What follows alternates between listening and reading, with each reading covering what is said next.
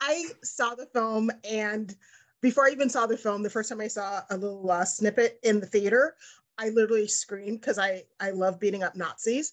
Could you tell me the inspiration for the movie? Sorry, I didn't hear your question because I was laughing. I love beating up Nazis. And so when I saw the first uh, snippet in the theaters, I became incredibly excited. Can you tell me about the inspiration for the story idea? The inspiration is behind me, like First Blood. I love that kind of films. And I always wanted to do an action film uh, in Finland, which like was thought it's almost impossible because there no one is making action films here in Finland, and and uh, so I've been wanting to do this since I was something like twelve. Uh, so I'm really lucky to be here now with with Sisu and how well it is received, like everywhere. So I'm happy. I was super happy. Um, I love the title of the film, Sisu.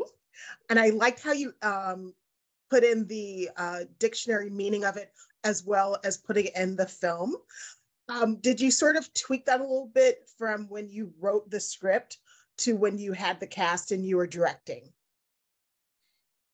Uh, uh, tweak what? I didn't understand. Oh, yes, sorry. Um, as an American, I'm not familiar with that word. And so. When I first started talking about the film, uh, people from your country sort of corrected me on the proper uh, way to say it. And then when I saw the film, you guys put you put in a dictionary description of what mm. the word meant, and then you used it in the movie. And mm. so I was wondering, since I think it's a word that's semi-familiar where you're from, after you started filming it, did you think to yourself, oh, I might need to sort of uh, let non natives know what the word means? Yeah, of course, everyone in Finland knows what it means, but of course, no one has seen like a film about Sisu.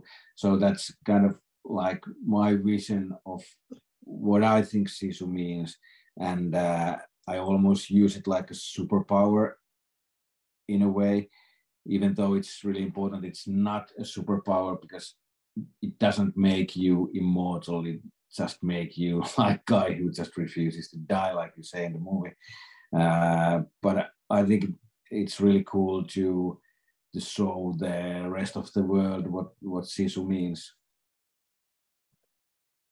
And I really enjoyed the performances of all the cast members. Um, Jorma and Aksel. Jorma really is the center of the movie with his mm-hmm.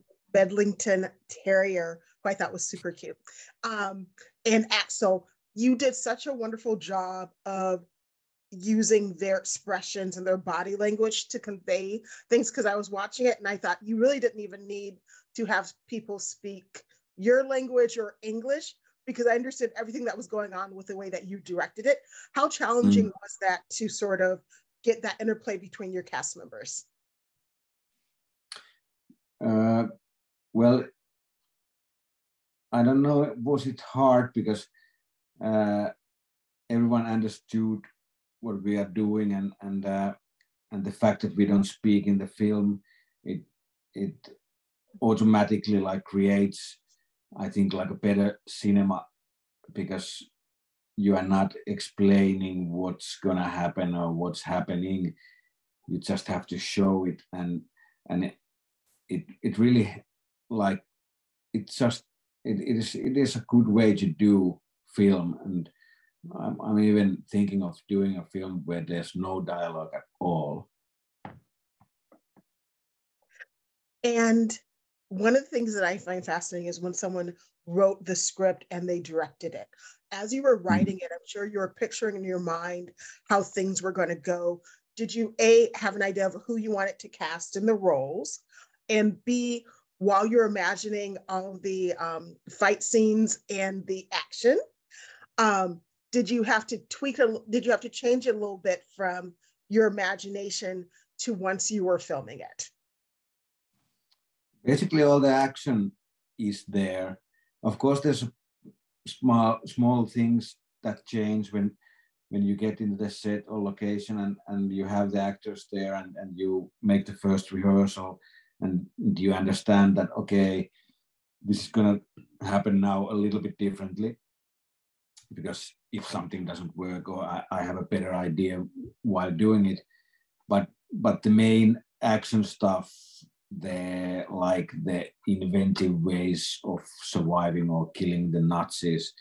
They were were already in the script and they uh, i'm really glad how they actually turned out to be like exactly like i imagined it in the first hand now they say it's always difficult to work with children and animals and you had two wonderful animal actors the horse and the terrier Bedlington. How was that directing them and getting them to do everything that you wanted them to do? I'm sure their trainers were on site, but I know sometimes with animals, they don't always listen exactly.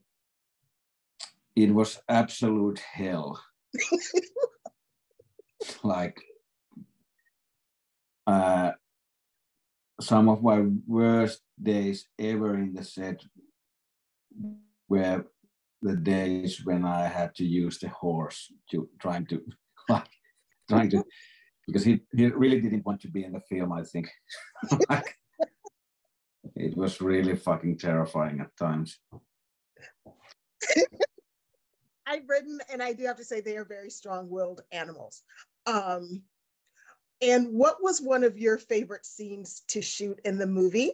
I don't want to give anything away because it's unlike any action movie I've seen in a long time, and I was incredibly impressed with um, how you did um, the airplane scene and then um, um, the underwater scene. but I don't want to give anything away. That is a cool scene, but it wasn't so fun to make. But what was fun to make, I think, were the easy, like the hanging scene in the gas station was really cool to shoot. I, I really enjoyed it, and and and and the she, scene where Aatami finds the gold vein, and and when he first encounters the Nazis and rides past the whole Nazi squad, uh, because at that point I, I knew that we were doing something really cool because it it started to look like a movie and um, I am.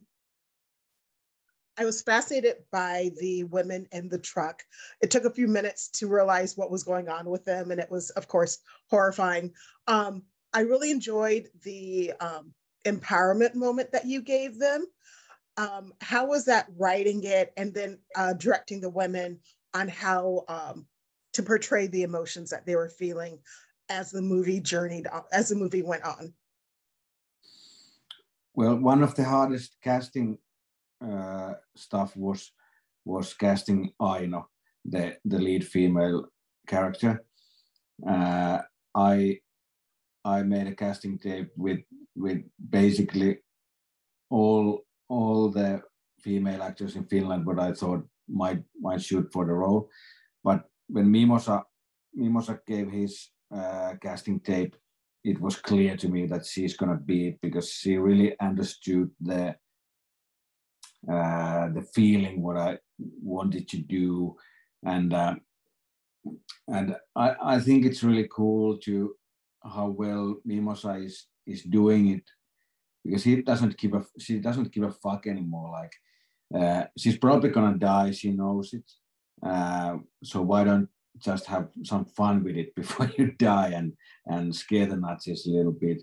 And and when Aatami Aatami uh, comes to the women and uh, basically uh, like in, invites them to join his like quest for killing all the Nazis, I think the fun starts from there really. And one final question. Um, if you were going to talk to a fan before they saw the film, what would be the first thing you'd say to them? Before they see the film. uh, prepare yourself for a wild ride of massacring a lot of asshole Nazis. It was a blast. Thank you so much for speaking with me. Um, it was a delightful film, well acted, and I love the dog. It's a new breed that I want to pet.